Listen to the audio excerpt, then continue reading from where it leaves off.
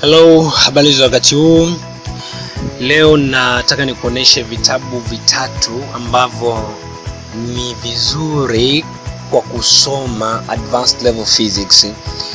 Tunajua physics advanced level, siwezi kusema ni ngumu wala siwezi kusema ni rahisi, lakini ni kuna kidogo, kuna mambo mengi, afu time is very limited.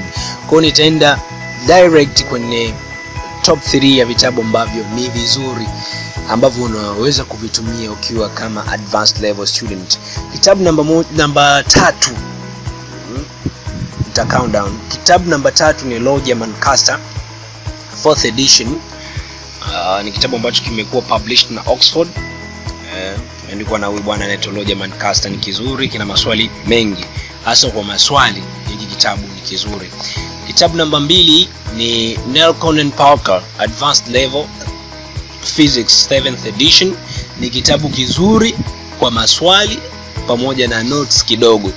Hiki kitabu kimejitahidi sana na nakipenda sana, ni kitabu kizuri zaidi.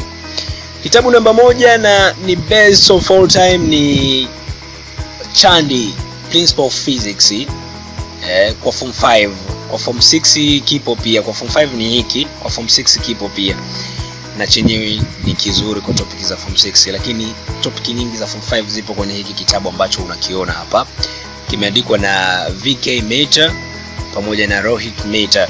Ni kitabu kizuri, kwa na suggest hivyo, despite the fact kwamba nimetaja hizo top 3 books, inatakiwa usome notes za walimu tofauti tofauti. Kwa mfano kuna Migote kuna Ali Abdara, hao ndio watu ambao unaona at least wamejitahidi kupindisha migongo na kuandika notes kwa ajili ya wanafunzi wa advanced level, hususan kwenye somo la physics.